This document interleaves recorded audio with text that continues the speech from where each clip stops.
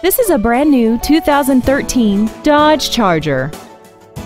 This four-door sedan has a five-speed automatic transmission, a 5.7-liter V8, and the added safety and control of four-wheel drive. All of the following features are included. A DVD player, traction control and stability control systems, high-intensity headlights, a leather-wrapped steering wheel, brake assistance technology, a passenger side airbag, a power driver's seat, a folding second row, and alloy wheels. Stop by today and test drive this vehicle for yourself. Thank you for considering Rairdon Nissan of Auburn for your next new or pre-owned vehicle.